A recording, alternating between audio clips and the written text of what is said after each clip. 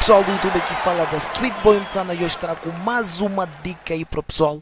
A dica é muito simples, esse é um vídeo muito rápido que eu só vim ensinar um bocadinho uma coisa essencial no Samplitude, só para deixar o pessoal com mais workflow. E a dica de hoje é como selecionar simultaneamente, ou seja, como fazer várias seleções de track para você poder baixar o volume em simultâneo. Para quem não sabe fazer seleções é, de uma vez só, essa dica vai ser bem útil. É, sem mais palavras, let's go. Clicas a letra M.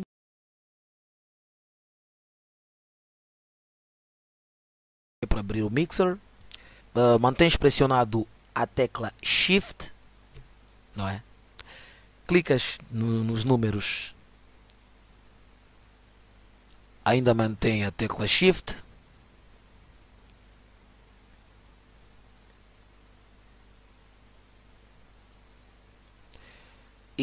Selecionas para controlar os volumes de uma certa quantidade de áudios que você quer baixar o volume ou quer aumentar o volume é bem útil.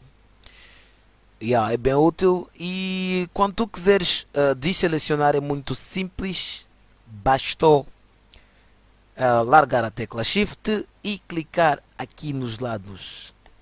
Simplesmente é essa dica. Muito obrigado a você que esteve a acompanhar o vídeo. Essa foi uma breve dica, não é? Uh, só para aumentar o workflow do pessoal.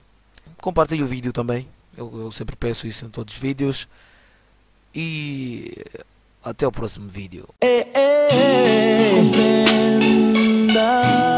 Espero que você compreenda.